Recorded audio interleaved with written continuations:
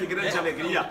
Vamos apresentar a música Pé de Cedra, do meu amigo Silvano Mato Grossense, arretado, grande parceiro César, que fiz questão de trazer hoje pra, pela primeira vez que estão cantando junto, mas deixa ser. Vamos brincar com essa música aí, Pé de Cedro.